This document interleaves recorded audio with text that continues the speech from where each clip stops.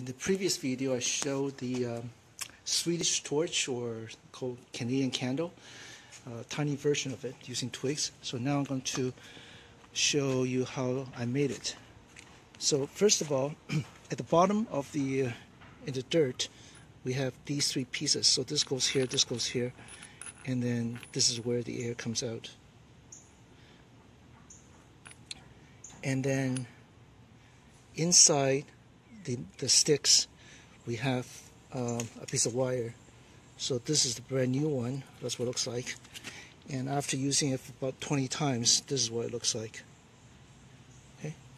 So for fuel, if you have uh, small twigs, then you can use that. You can break it up and use that.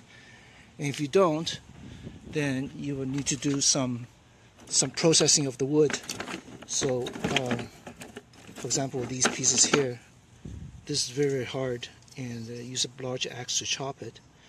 But if the wood is not that hard, then you can use batoning.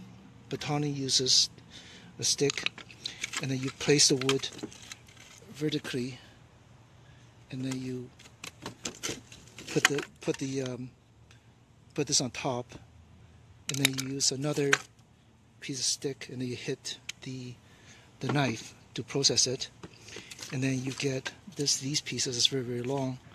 And then you have to chop them in size. So then you would need a uh, an axe. So something like this to, to chop okay? And then what you get is the processed wood. So like I said if you if you have um, twigs available then you don't need to do any of that work. You just break this using using something like this. So you would just uh, take this and then you simply just cut. Sorry. Oops. Yeah. So so this cuts it like that. Okay, and then what you gotta do is you got to. So I got some of these what craft wire, and it's a 180 pieces for like buck fifty Oh, then these ones, I forgot to mention, these are, again, they're just uh, hair rotor, hairbrush rotors. And then it comes like this, where there's this inside and then it's got this outside. So you remove this, the only thing we want is just this piece. So then you need to find a stick. And the stick has to be small enough so it fits inside here and also you need to make sure that it fits inside this piece here. So once it fits inside then you could um, wrap the um, other pieces of wood around this. And then and then once you wrap around here then you stick it in here. And then you remove remove this piece in the middle so that so that the air can flow in between. So this is just a temporary. And then you use uh, a couple of these pieces to, to wrap around it. And these are reusable because they're, they're metal, so they can last a good long time. And then the pieces of this, you, you thread them together, and then you put them, let me show you what this looks like.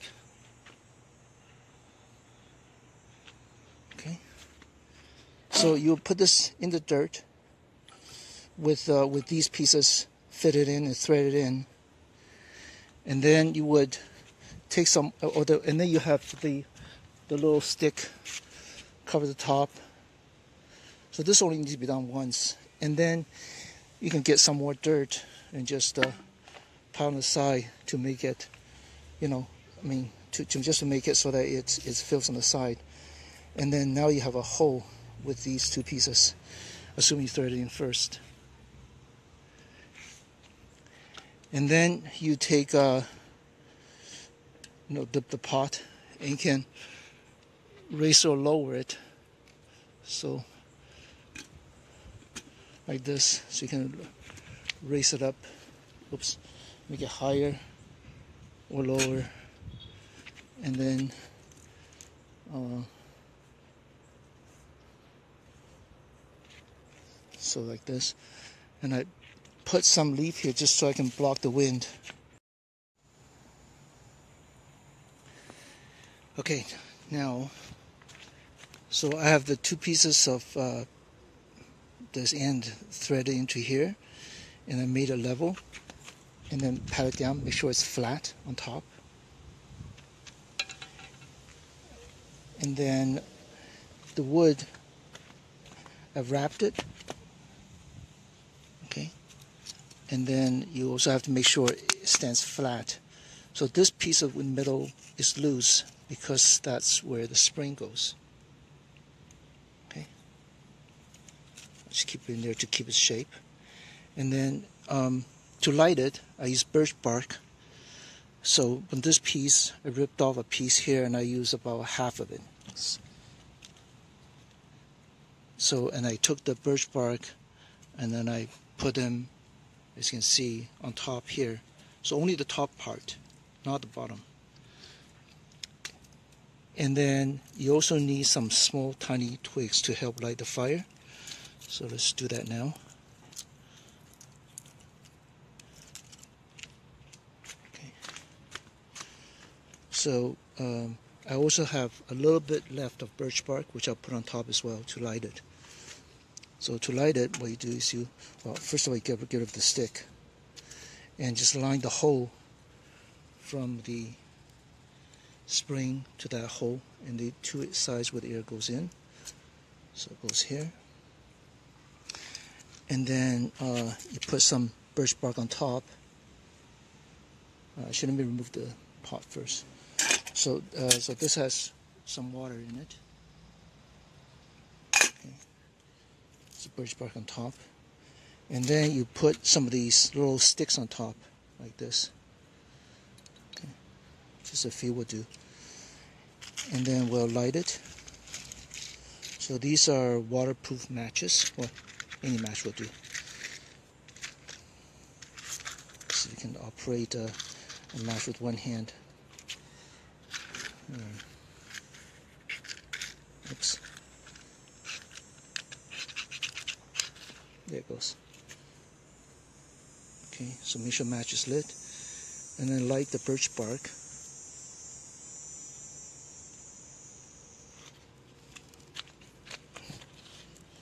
oh, here. So the little piece of birch bark lights extremely e easily.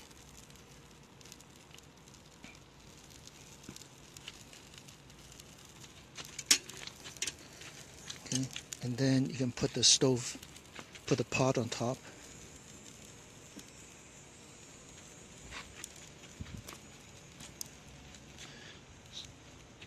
Now let's see how it goes.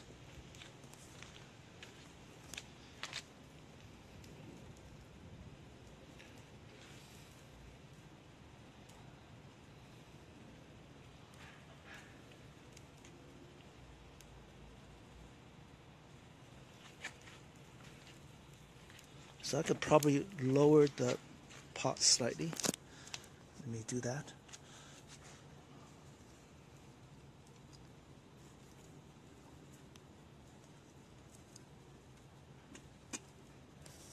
Let's see how it goes. Yeah, this is about right height.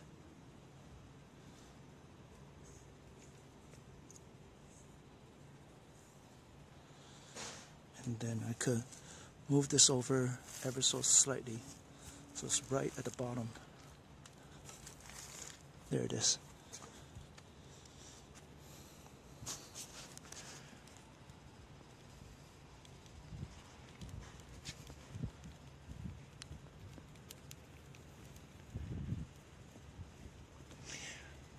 So the last time on my last video, uh, after making the water boil, um, let me just show you here. So these are the remaining sticks. Okay. So what I want to show you is that is that it only burned the top tiny little bit is enough to boil the water. You don't need the rest actually. The rest is if you got oh so the, the flame is a bit too strong. So I need uh, I need to hold this in place.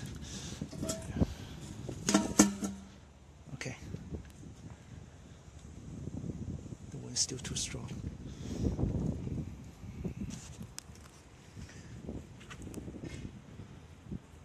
Uh, that might be hard. Probably need something more to block it. Uh, get the birch bark up on this side.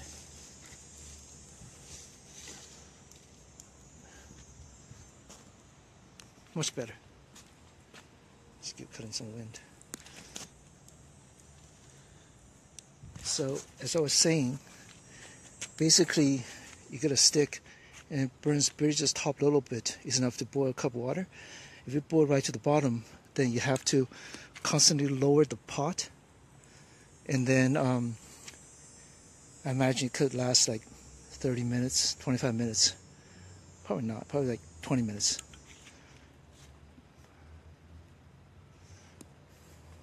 Depends on how long. Of course, if you want to last a long time, then you just get longer sticks. So if we type them together, then it's going to burn right to the bottom. So this will last like hours if you have a bundle of this.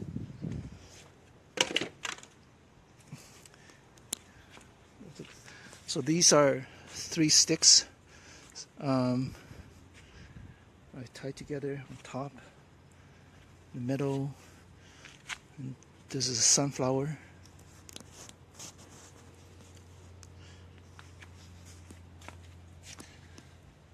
So we can see that this is the first tie and there's two more here. So I use three pieces of steel. Oh, gotta make sure there's enough air. See, there's so much gap here. I think this tube is not even needed. You probably just can, just uh, as long as you put it on top of rocks right in the dirt, this will burn well. Okay, go lower again.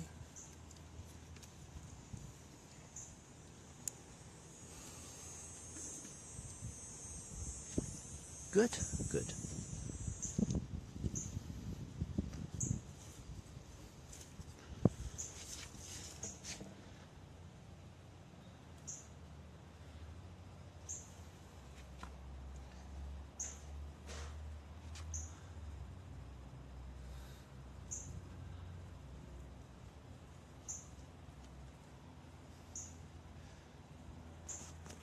So this time I put in twice as much water as I used last time because last time I was just making one cup of coffee.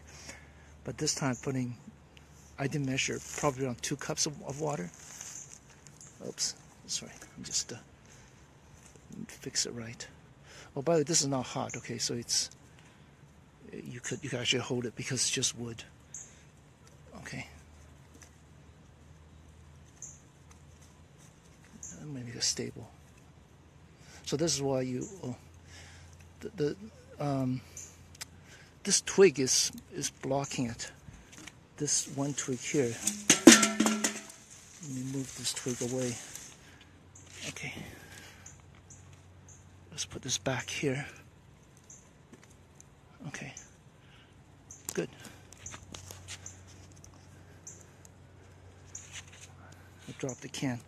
Anyway.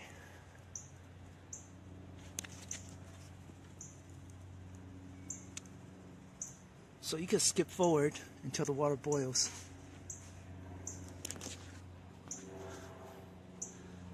But the typical idea, I mean, although I'm videotaping right now, but typical idea is trying to get away from the smoke as much as possible. If you don't smoke, then you should not really burn fire. Electricity is the best. Second best would be uh, gas. And then third, maybe a liquid fuel. And wood is pretty bad for your health.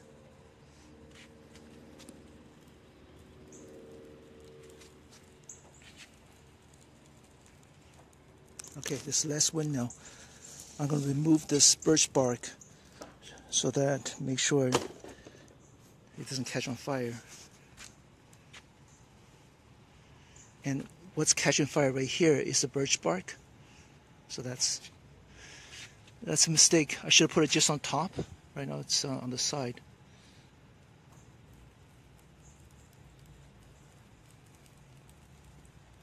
Oh, that's not good. This this is not good. You don't want. Ah, oh, gee. So, oops, it's going to break my plastic. So birch bark is extremely, extremely flammable. So let me just show you what it looks like. So if you take this, oh, this is huge. Well, it doesn't matter. We slide it. All right, missed it. So if I take this and make it catch on fire,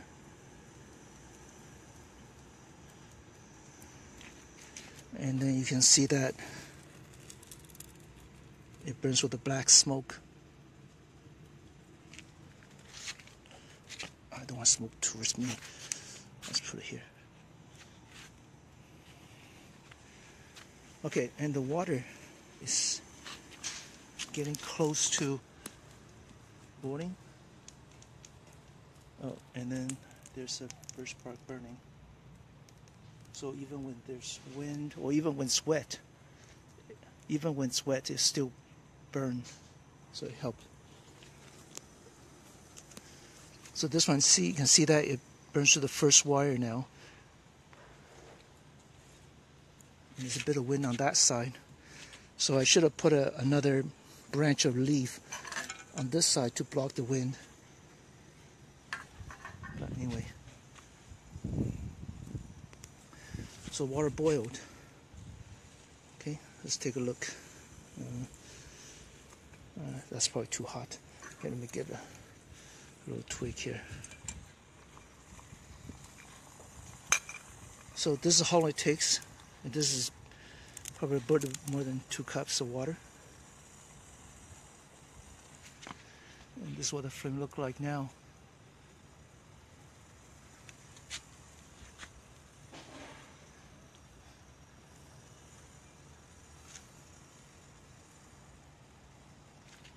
and then this is still burning?